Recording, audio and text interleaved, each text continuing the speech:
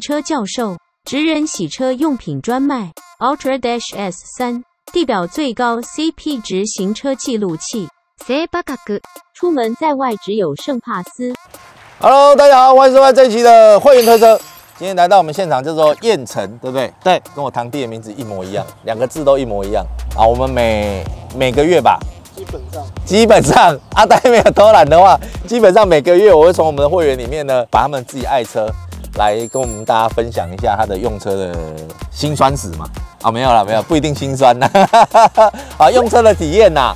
那如果当然啦、我们会员里面也有一些他自己没有开车的朋友呢，我们也可以提供我们店面的车让他去选，让他去试，好不好？所以今天来到现场是我们燕城自己的车，二零一五年的九点五代的喜美。好，那你当初这个是买新的还是买二手的？二手的，那你开多久？大概一年左右，对。那当初是在车商买的，还是朋友、亲朋好友？呃，算是跟网络上面的自售买家，你是从什么 FB 吗？对，那时候在社团里面看到的。哦，社团里面的哦，哎，社团里面其实有时候这个真实度会比较高一点点，因为其实有时候自售最怕买到假自售嘛。好，那我们这个为大家介绍一下这一台车，你买回来到现在，你有花了很多钱去整理吗？其实还好，这台车本来刚来的时候，其实里程数是蛮低的，所以其实状况都还算不对，跑。六万而已。对，就是做一些基本的保养啊之类的那。改装呢？改装的话，妈妈应该没有在看吧？妈不妈妈应该不会看啊，对，呃妈妈应该不会看，没关系。其实其实也没有花到很多，其实不到十万。好，那等下跟大家分享你大概改了什么，帮我们介绍一下你的车子啊。首先，这个九点五代，记得它的雾灯变成这种横向的椭圆形的嘛。对。好，然后哎，我刚刚看到了，Mark 是黑化，这是你黑的吗？自己贴的，哎，其实大灯还蛮蛮亮的，八年的车子，这个大灯的这个明亮程度，我觉得还蛮不错。哎，可是这里面怎么会有两个这个啊？它这个小灯的那个前面掉下来了，然后就滑一路滑进去了。哦，对，我想把它拿出来，拿。那个透明的那个，对对对对对，灯泡前面透明的灯壳，它在掉在在流眼泪，掉在你的灯壳里面，要哩哩隆隆，你没有把它拆下来，摇摇摇，把它摇出来。可能找个时间，要找个时间把它里面有两个 盐出来了。哦，白色的还蛮漂亮，而且是黑屋顶的。哎黑屋顶，你当初买就是黑屋顶的吗？不，是，我是去烤漆的，因为我那时候我在考虑是要贴膜还是要烤漆，可是我后面觉得说，就是因为烤漆的话，我觉得光泽度来讲，我觉得会比贴膜再更亮一点，对，感觉。贴膜有时候会有点雾雾的。呃，那车头部分你有改什么东西？除了 Mark 贴黑以外，其实下巴原来就有。下巴就是这个也是你装的，对，算是定风叶。我们看侧面，它是十八寸的铝圈哦，哇，马牌的呢哈。这个算是那时候前车主已经已经付来给我的哦，我还没有换过轮胎，哦，你还没换过轮胎哦？对，我还没换过轮胎。哎，它这几年的我看一下。它这好像有一段时间了，哦，对，一八年的呢。对有点年年纪，不要那么省好不好？这是安全东西。差不多哎差不多要换了。这裂了啦，不要闹了，你要小心呢、你改天做技师哎，你 卖脑啊，这个安全的要要小心。嗯，啊，这个这流水灯对不对？这也是我自己换的，不过我看这个高度避震器没有换，这是原厂的高哦，度。这是原厂的高度。哦，对，避震器是原厂的，碟盘也是原厂的呢。对，你不觉得这个十八寸的大披萨里面很，空虚。对，看起来有点空吗？这还在计划计划当中啊。计划当中，而且我看到刹。对对对车皮是用我们以前的干爹 Filodo 的，赞老干爹 Filodo 哎，不用不用跟他站，不用站，他已经很久没有下很高了，屁股就帅了呢。来来来来，交代一下，这四出尾管是谁弄的？这个呃，也是你搞？就有一天晚上怎样保养送的？没有女朋友不用这样子。走走出门的时候，就踢到了一个排气管，哎然后就妈妈不会发现。他发现了。对啊，怎么可能？回来差不多第二天吧，他说你怎么排气管变四根了？我说哇，哎，妈妈会注意你排气管几根也是不简单 因为单。因为那时候刚买车回来的时候，他有比较常在看我的车子啊。哇，对会注意一下，叫你不要乱对对对乱花钱。哎、可是对啊，本身对车有兴趣，其实花花钱也是合情合理的。那这个后面的这个大包呢？这个也是我后面才改的，然哦也是你后尾翼加上去的。对，尾翼是之前车主就已经有留下来给我的。这个无线尾翼，这个也是很流行的一支尾翼啊。这个开车的时候看到自己屁股有个尾翼是蛮舒服。哎、这个灯是不是也有改过啊？有，所以这个都 LED 的哈。对，这都有 LED 的。它这个它这个是台湾做的吗？还是说它有仿日规划的？应该算是自己登场自己做的开模生产那一种。好好对，就是其实它原车的时候，它这边是有两根凸出来的啊那，个反光板哦。对，然后它的倒车灯跟雾灯也是设计在设计在这边的，啊，对哈，对，所以，是买这块饰板，直接把它拆掉换饰板上去，对不对？对对对那这样子你的倒车灯就改来这里对，它就是跟尾灯一起整合在一起。哦。哎，你我我看到还以为它原本就长这样，没有太注意看，没有太留意看的话，因为其实美规的 SI 它就是长这个样子。哎，这样比较素，比较好看啊。，对，不过其实是这样啊。嗯，从我们小时候改车就是这样，就是没有反光片要改成有反光片啊，有反光片要改成要把它用掉没有反光片对不 对？你像以前那个 H 有没有？H 台规啊，嗯台规就是小反光片呐、然后日规就是整排都是反光片，你知道吗？所以以前就要把它改成全部都反光片，所以这很无聊啊，没有反光片就把它改成有反光片啊，有反光片就要想办法把它拿掉，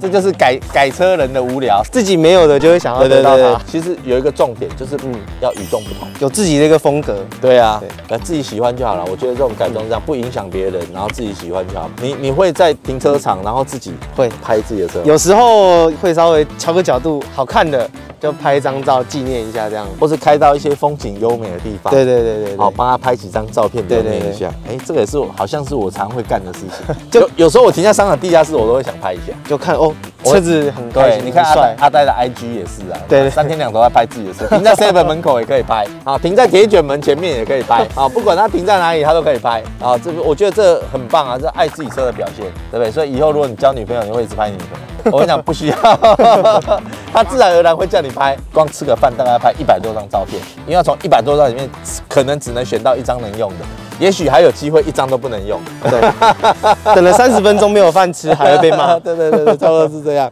哎、其实整台车这样素素的就很漂亮而且其实喜美的白哈，有一点黄。你阿蛋，你现在拍那个 T 大，那个那个就很白，对不对？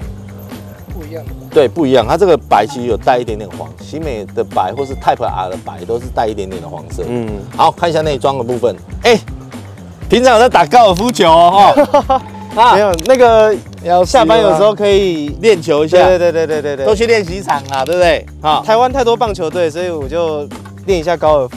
啊，你不用不用这样讲，我们就当做打高尔夫球了。下班有时候会去打个几何球。对对对对对对对对对。哎呦，方向盘蛮漂亮的，好，这碳纤维的，然后有变形虫的方向盘，哦，这个我觉得握起来应该蛮舒服的。然后这个门板呢也蛮漂亮的，都没有什么刮伤啊、瑕疵啊。中控台哦，你也是用了一个避光垫，你是停外面吗？室内车，因为避光垫一般是比较啊有两个作用嘛，很多人都说那个避光垫很难看，可是避光垫其实有两个蛮不错的作用，就是防止你中控台被晒，那还有一个就是晚上不会反光，哦所以它叫避光，晚上灯会反射在你的前挡风玻璃，就造成你视线会误判。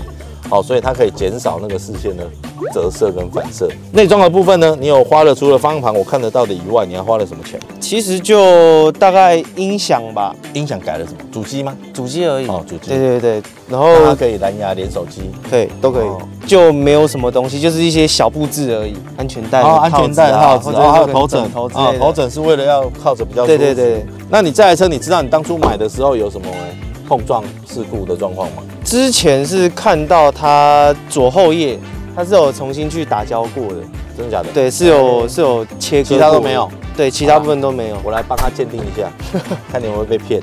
来看一下引擎室，哇，好粗啊！舒密特，舒密特的阿阿妹，你知道？哎不是阿密特好，那是阿密特，啊，拍水拍水。哎，这边怎么会有一个气泡袋？这个是那个排气管的阀门，它的控制盒，就是把它特别把它包起来防水处理这样还用。还用气泡袋？对，对你这台车，你有发现有什么生锈的地方吗？生锈的地方其实有，哎、它的后面的后车厢其实它之前里面有点生锈，那个是因为板修过，所以才应该那个对那个也有关系。前面这边它水箱架的下面也稍微有一点，可能那个就是太里面哦，一就点一点的。对对对，太里面就没有处理。边条你有拆下来看看里面有没有？哦，那倒没有。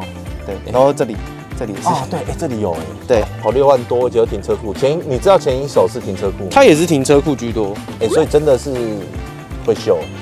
但是我觉得你你自己的感觉，你对于生锈这个事情啊，比如说车子哎有一点像这样的生锈，嗯你你的想法是什么？你会觉得这车很烂吗？还是会觉得说，嗯，我会觉得说它这个漆处理的话，应该可能就真的没有处理到很好，嗯或者它可能本身它用用料的部分嗯，可可能会比那些进口车来讲，可能真的是有差啦。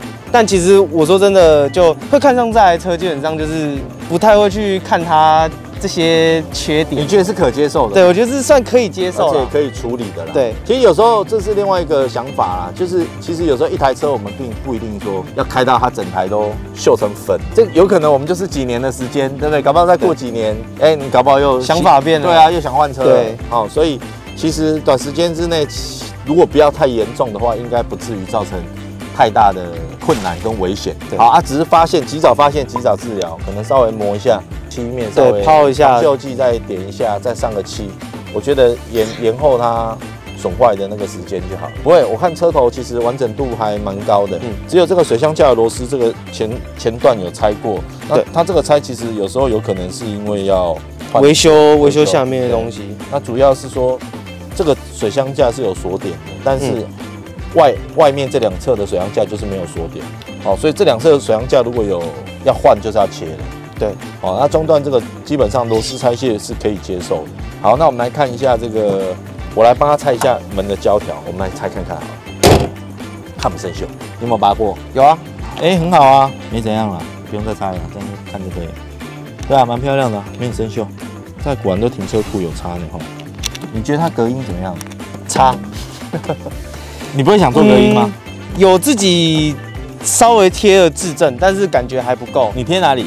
我是贴在轮毂内，哦，对对对，但是可能觉得还不够，可能要的话还要在门边的，对啦一个是封切嘛，对对对对对。然后可能门板下来里面贴嘛。哦门板面我也有贴，哦，你也贴了，对对对对对，四个门板都贴了，对银色的那一种。对对对对对。还有，要不然那再来就剩地毯要翻起来。那那个银色踏板是原本就有还是？哎、那个是原车，我记得是可以选配 Modulo 的的一个套件，就是包含这个侧裙也是 Modulo 那时候哦新车就有可以选。没锈。那我们来看一下后车厢好了，来看一下，哎，这边就看出来了，这边超平呢，完全都没有焊点，整个完全就是把它弄得很实木实的。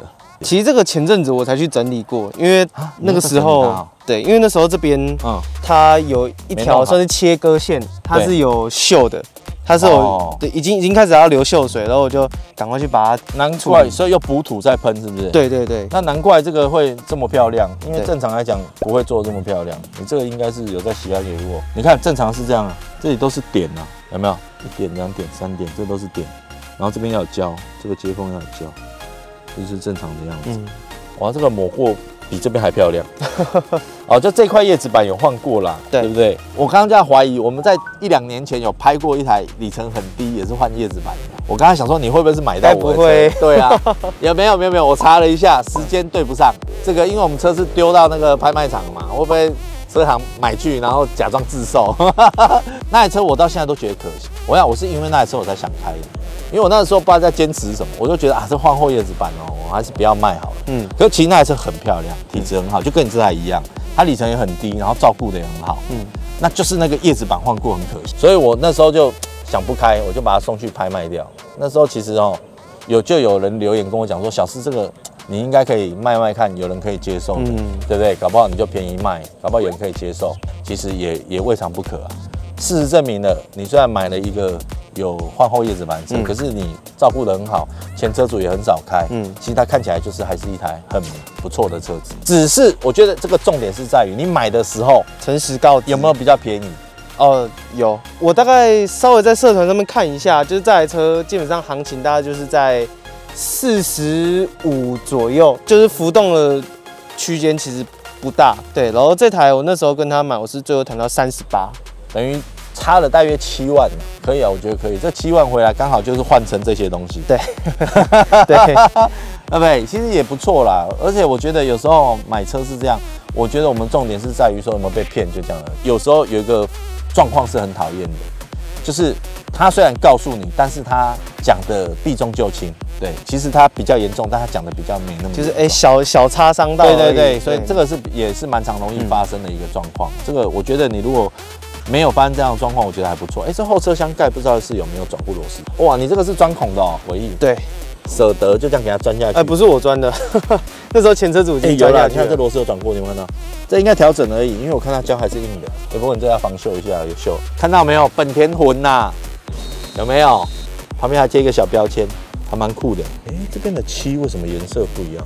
有一个落差哦，因为我记得那时候可能我，因为你看那边也是也是一样有一个交界那个点，有可能是它整个整理，因为我记得那时候这边有没有锈，我好像有点有点忘记了。那边那边锈是最主要的，哦它应该是有整个哦后面有整理过。哦，就是你你嗯做这次修补对的时候，对，就是我第二次去喷漆喷到这里来，一个对干这太明显了。这个很像什么，你知道吗？衣服脱下来有穿袖子，有没有？对，里面比较白，然后这边比较黑，然后这个交界就有点那种感觉。哎、好啦，那我们来去试一下，试这个试开一下，看看你这个车开起来是不是如同外表看起来这么棒。好，OK，Let's go。汽车教授，职人洗车用品专卖，Ultra Dash S 三，地表最高 CP 值行车记录器。来了来了来了，有没有觉得很熟悉的场景？有，都在影片里面看到的路，现在我坐在旁边。我、要这个管子有浑厚哦。欸平常我都关掉的，要有阀门是不是？对对对哦对对。对我这个非常的鼓励，一定要阀门。就是有时候回回到家晚上也是怕吵很久。哦，在之后跑六万一耶，感觉整体这个内装的气氛车况，我觉得真的还是还是不错。啊，这个是因为褪色吗？还是你自己黑化？那是我自己黑化的。哦，所以它没有褪色，其实有点失败啊，被我挖到点。这很难挖。这个从 CRV 八代 Beat 每一台都褪色，我看得出来你是你是处女座的啊、不是爱干净啊，弄得那么整齐，还是你今天要来才整理的？哎没有没有就跟女女生今天要准备要带女生回家一样，先把房间整理干净，香水先喷喷床跟被，先撒点玫瑰花在床上面。差不多类似这种感觉，你是不是这样？没有没有没有，平常就这样了。对，平常就这样。啊，那真的还蛮整齐。我比较喜欢车子不要太脏的感觉，这样开起来自己会比较舒服一点。我蛮意外，这个避震器是没改的欸。其我也这么觉得，对这个避震器开起来，感觉很像有改的。对，感觉有有有改过避震器的那个回馈的感觉。对但是因为有一些拉杆，所以能感受得到它左右其实是联动的。其实有些拉杆，很多人不知道那个拉杆到底是干嘛。拉杆有时候就是那个，它为了要维持那个左右的平衡平衡嘛，嗯联动嘛。但其实我觉得有好有坏。那有时候我会想啊，人家好好的独立悬吊，你把它弄成扭力梁，对对，你把它弄成拖曳臂干什么？对，因为把它拉起来了嘛。对那就会什么减少舒适感，对啊，因为只要一边震动，两边会一起联动。对一般人家说啊，独立悬吊，高级车啊，一种那种类似斯啊，很多做多连杆的那种独立悬吊，它为了就是说，哎、一个轮子去吸收就好，其他另外一边不会被影响到。对对对，它制造创造那个舒适感出来。嗯不过这个能感受得到哦，在弯道上面啊，或者是在操控上面，我觉得会更加的舒服跟流利。这个过弯应该是可以非常有信心。你觉得这台车省油吗？呃，我觉得算中规中矩吧。你有没有？你大概都是在市区偏多，还是快速道路偏多？其实快速道路偏多，大概七成左右；市区的话，差不多开三成左右。哦，这边大概显示是十点六对，因为其实它这个铝圈也有影响。啊，因为你换十八寸铝，对铝圈跟排气管，对，再加上右脚比较贱一点，但平常也是都顺顺开啦，顺顺开居多。所以我觉得它的油耗其实算还可以啦可以啦，，十点六我觉得算可以。不过其实还能还能更好啊，就是可能我觉得太痛苦了。太痛苦了。有些人在那边，你干脆有没有计算那个嘛气温嘛？气温如果超过二十五度就不要出门，不能出门。对，因为热胀冷缩嘛，对对不对？呃，因为你气温高，你出去要冷气又要开很强，嗯，汽油又压力大哦，所以容易喷发。有些人为了省油嘛，气温太高的时候就不开了嘛，就骑车出门了。然后有些人还甚至这种晚上才加油嘛。哦，哦，热胀冷缩嘛，等那个汽油缩的时候再加，感觉可以加比较多。我觉得那太累了吧。哦，买一台车是就是想想走就走，我觉得最棒就是这样。很多人问我说：“哎、小师哥，你觉得我租车好还是买车好？”我说不一样的东西。你虽然这样算起来，你觉得好像你的使用频率好像租车比较划算，可是你要你要计算一个东西啊，说走就走这件事情。嗯，租车有时候未必能说走就走啊。半夜三点，女朋友跟你说我家没人，要冲过去了。对啊，半夜三点你去哪里租车？对不对？这样租车要跑很久，对对不对？就就忙有自己的车是半夜三点说，哎，女朋友传讯息说我家没人，OK，冲了？对不对？发了就去了，哎，对真的没人。啊，就按电铃都不开，真的没人。啊，这是比较激动啊！我觉得这个东西就是为生活加分嘛。你自己有买一台自己的东西，我觉得还是很棒。你几岁？二十四，我看好年轻哦，我靠，岁就开喜美九代了，我二十四岁在干嘛？开喜美八代。不，我想错了，我是开喜美六代。对，我二十四岁是开喜美六代，不好意思，不好意思，不好意思。二十四岁我在开喜美六代 K 八，所以你看喜美真的是年轻人的好朋友。对，而且算车子也算好养，然后其实也没什么大问题，能负担得了这种车。哎、我认真说，它底盘的那个坑洞处理的还还真不错。嗯，我还以为会跳，其实不会，还是感受。其实认真感受，虽然它两边是拉在一起，然后有硬朗的感觉，然后这个底盘有那种比较好操控的感觉，操控感是增加的。对，但是我发现它在过人孔盖啊，跟一些减速坡的时候，其实上下的这个垂直弹跳，它还是可以很有效的去吸收把它吸收掉。嗯其实没有什么车子会跳，人会颠的感觉。所以你说这个没有改，我觉得有可能，应该是真的没改。你看过这个，好，其实它下面吸收的不错哎，嗯，但是呢，我在转弯的时候又能够感觉有很好的路感。支撑的感觉。，对，那这台车回来，你有没有修过东西，换过耗材？其实也就是基本的保养吧，大保养这样子而已。其实也没有坏过什么东西。大保养是做就了什么内容是？包含就是机油啊、变速箱油、刹车油，然后、还有皮带吧，大概就是这这几个项目。但通常我都是提前换了，都提前把它换掉都自己换。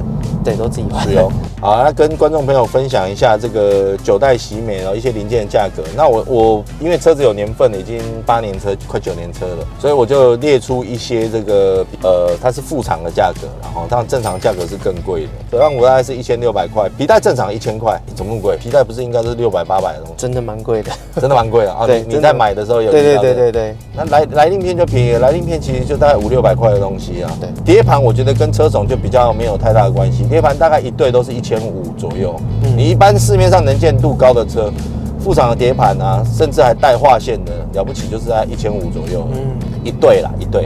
然后那个继电器啊，冷气的继电器是三百五十块。哦，它的冷气，对对对对对对，它很会坏那个压缩机离对那个 relay 会坏。哦，哈，对铝类还有那个离合器，对，对，压缩机的离合器大概是两千块钱，水箱好、大概是在两千五，风扇一千五百块，哦，引擎角亚西郎哦，前后左右都大概六千，两千到六千不等，亚西郎。哎、吹一下，哎、你要不要关一下阀门？爬坡有爬坡有一点，有点吃力的，有点吃。力呢。小志，你把油门先放掉。好，这样。哦，没声音了。十八寸的圈，其实我觉得相对原厂就是十六寸的来说，它的因为它本来贴地的面积就比较大嘛，嗯所以相对来讲，我觉得在过弯或者是在开的时候，那个路感跟贴地那种感觉都会比较好一点。啊，自然进气就是棒。好，松油门再加油门，它的变速箱衔接的也蛮好的。你这台车车况不错，开起来，我觉得整体引擎跟变速箱哦，还有你的底盘，那基本上我觉得这一台车哦，我我在这个弯道当中的松开油门，再补油门的这个变速箱的衔接，它也状况很好。嗯，那其实我常常会做这个测试哦，有些车子它如果里程开比较高，变速箱的状况没那么好，它最常最容易发现就是在你油门松了再补油门，嗯，马上会有个间隙感就出现。就那个顿挫的感觉。对它那个可能是那个齿轮盘啊，或是离合器啊嗯衔接有问题，你就会觉得会有一个冲撞感，没有很顺畅的一个顿挫感。嗯，到刚刚我试了两三次哦，油门松开马上再补，它的衔接超棒，完全没有任何的碰撞的感觉。你这台车照顾的真的不错。当然很多人改装啦，那改装我觉得很重要的是要有一个协调性，嗯，所以我觉得你这台车你有把它照顾跟改装到一个非常协调的状况，就是包括我刚刚讲符合人性的使用，还有第二个就是说你的这个舒适度跟你的操控感之间，我觉得你有达到一个还蛮完美的平衡。我自己开起来的感觉是这样，好，它包含我握到的，从我握到的方向盘，所有这个开起来的感觉，我觉得这台车你把它弄得很均衡，变成很非一台非常人性化的车子。就是它不会太过度的死硬，但是对啊，其实它该要有它过弯的那个支撑的流利性都有啊，操控性都很棒啊，而且这方向盘握起来真的好舒服、啊。唯一一个我可能我觉得就是那个啦，椅子不够不够包覆有那个嗯，找两张 Type R 的椅子啊装进去，他说干脆买台 Type R。而且我觉得你的车高度也蛮刚好的，有时候车低到会造成困扰，也是蛮麻烦的一件事。对，要躲东躲西的，不实哎、用。不是啊，你换了一台那么大的，为什么没有荧幕，只有小荧幕？哦，因为它这个应该说它是原厂主机，它线就没有过来到音响，它只有到它原本那个小荧幕上而已哦，所以你就没有对接了。因为如果说要再多一个，这里有一个有个画面，就要再多加一个镜头。セバカク。出门在外只有圣帕斯。你妈妈坐你的车会不会抱怨？会，抱怨什么？ 他说：“哎、你这车怎么这么硬啊？有改避震吗不会啊，这坐起来也没有特别不舒服啊。我觉得是？”因为其实我受得出硬朗啦。哦说实在的，会听到砰砰的声音，但是体感是不会不舒服。因为我们家有另外一台车是 HRV 啊，新的。哦他就说：“哎、为什么跟我爸的车坐起来差啊这么多？”那当然不一样啊，不一样的那个对啊，HRV 那么软，对，对啊，一一定是更舒服的啊。那还有还有还会抱怨什么吗？其他应该都还好了。其实还好。他说：“其实反而我的车子还比较不容易让他晕车。对嘛？这你你要解释虽给他听然嫌，归闲呐，对，你要解释给他听，这是相对的。你要舒服啊，就是柔软，柔软就是会就是会晕车对，那你这个车开到现在，你对它有觉得它有什么缺点没？还是妈的你有开滤镜？其实就本田魂零缺点我我我想这么说，但很难啦。就是我觉得它的隔音吧，哦，你觉得隔音？再就是动力，有时候真的稍微有点不太够。其实那本来就是在预设的心理，其实买的时候就知道了。对，买的时候就知道了。对，你买的时候就有新雨窗了吗？对那你如果这个拆掉，风切声就变小了。对啊你不，觉得很多声音？只是就那个残胶，我要想办法把它除掉，会有点丑，我是觉得新雨窗拆掉，应该声音就会少小很多。对，会少很多。嗯，难怪我刚刚觉得开的时候觉得你这个车其实隔音比想象中好一点，原来是你自己有搞一些自震垫，对啊，这很奇怪哦。很多买 CRV 买新美都要做隔音，原厂不给我们的，我们自己呃来。对啊，我 我看 CRV 很多在做隔音啊。对，但是很神奇哦，我有发现到哦，反而去买什么 Artis 啊，好或者是 Rafford 的啊，不太会去做隔音，他们就就就这样子吧。对对，你怎么跟我想的一样？就这样子。对对对，因为买那个车的人其实对这个东西没那么要求了。对其实我我我发现这个是品牌跟品牌之间那个客群不太一样。嗯我觉得买 Toyota 的人他就是只是要很单纯的一个很经济划算的一个嗯，代步工具。所以我真的觉得这个是品牌之间的客群不太一样的。好，那另外啊，最后我们再接下来说，就是你这台车你买回来到现在，你觉得你最喜欢它的地方是哪里？最喜欢它的地方，其实我当初会觉得这车子真的很漂亮，是因为它的内装啊。它的内装就是包含这个双层的仪表，然后还有就是算是驾驶倾向一点的这个中控中控台，对会让我觉得感觉有点像那种战斗座舱那种感觉。啊对对对，还有吗？还有喜欢它什么地方吗？其实在就是外形吧，外形我觉得就是它原车就是有自己加装那个原厂配的那个空空力套件的话，啊其实我觉得就还蛮好看的。外形。那常常在讲本田魂啊，你喜欢本田的所谓的本田魂，你是喜欢它的算是它的一个精神理念吗？算可能现在偏离很多了，就是它的造车的理念，可能当初当初在设想的时候会觉得说车子就要符合经济实用，但是又不失操控乐趣，以这个理念去发想去造车的，然后就觉得算是还蛮职人精神那种那。为为什么没有丰田魂？人家不是常在讲吗？这这两个社长有吗？嗯一个一个越来越越不竞技，嗯然后一个越来越低效对对对，啊！现在是交换的，是不是？两个走不一样的路。现在没有本田魂，现在是丰田魂。丰田魂没有啊，到现在好像还没听到这名词，好像好像只有本田魂这个名词，没听过对丰田魂。啊，那你接下来你还会想要对这台车做什么事情？其实应该就是一些周边部件的强化吧，避震器啊、刹车啊、避震器、刹车，对，这个是卸下来。按轮胎啦，轮胎先轮用啊。轮胎轮胎会用，轮胎爆了啦对对对，我觉得改车哦，真的是一件还蛮有趣的事情啊。男孩子从小到大对车有兴趣哦，其实很容易就看得出来啊。哦，你看啊，阿呆啊，或者你看年轻人，其实嗯对车有兴趣，就是会去做功课，嗯然后把它改成自己喜欢的样子。我觉得自己喜欢就好，不影响他人为原则，好不好？我们在这边再宣导一下。好了，今天非常开心，我们的燕城，好，他的名字我绝对不会忘，好，因为跟我堂弟一模一样。很开心来跟我们分享他的喜美九点五代。好，那刚刚帮他看一下，买了也没被骗。那喜欢我们的这个系一系列的会员推车的影片，也请留言让我们知道，订阅、分享、开启小铃铛。下次见，拜拜。耶，拜拜。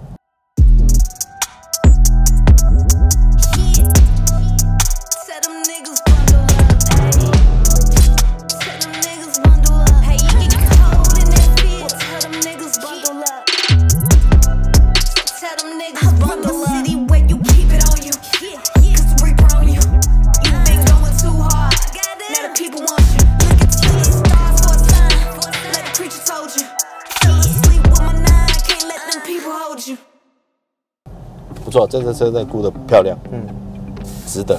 所以我说这个买车不一定要跟小师买嘛，我们在网络上分享一些观念，带着那个观念去，哎，再加上自己对这个有点兴趣，小小研究，其实我觉得你这个车买的蛮滑的。而且其实当初我爸有帮我看车啊，啊，你爸也会？我爸是之前在做中古车的，靠腰啊！哎、中古车第二代，老师哎、他现在已经没有做了没有做了。对，我差点厂子被砸了，他妈的隐身我操！哎、你爸几岁？几年次你知道吗？六十六，呃，六十七，六十七啊，。跟我一样啊，妈一个我做我儿子的来，哦，我混你哇，我鬼人老底哦，跟我同年，现在已经退休了哦、他现在是在做他其他的事业，哦因为他说中午车的市场真的也蛮竞争的啊。很竞争，非常竞争。他之前他又，因为他从树林走了之后，他就转去台南卖。他原本以为可能不会像台北一样，就是这么这么一板一眼那种感觉。嗯对，可是相对来讲，台南好像消费能力就没有台北的来的。而且还有一个，他们比较人情味，哦基本上对，如果有买过觉得不错，他们就会一直在同店买。嗯，所以你外地的人要进去，其实没有那么容易。对哦，有些市场它是比较比封较闭一点封闭一点。对这也有一个好处，只要你你是好好的做生意，其实你都可以对啊过生活，嗯因为会有相亲来跟你买。其实我觉得哦，这个也可以跟你爸爸分享啊，因为嗯中古车这个东西，因为资讯越来越发达，所以说呃有没有我们有没有跟上透明化的潮流很重要。嗯对啊，那我是运气还不错，就是哎我们有跟上这一股有跟到这一个，又有跟上这一股就是透明化的潮流，那我们也也也致力于说让这个这个行业啊比较透明化。对，那就比较少人会被骗。对啊，我觉得这样子就还不错啦。因为其实我爸爸说他有看过你的影片，他有在看，对他有看过你的影片有说妈的这个人捣乱 搞乱市场啊，他一直没有这样跟我讲，他说他这个方向是好的啊。没有啊，这这个市场不是搞坏市场，这个是不得不这样做，因为我今天如果我不这样做的话，别人也会这样做。嗯，只因为迟早这迟早问题啊！现在各行各业，不管房子啊，哦，或是建筑装潢每个都嘛超透明，对啊一大堆人在拍，那水电也有人在拍，嗯所以其实会越来越透明，越来越难讨生活啦。嗯，那主要是你如果还想要靠一些灰色地带赚钱，现在根本都赚不到了，那个一下就烂铤而，走险呢、啊。一下就烂掉。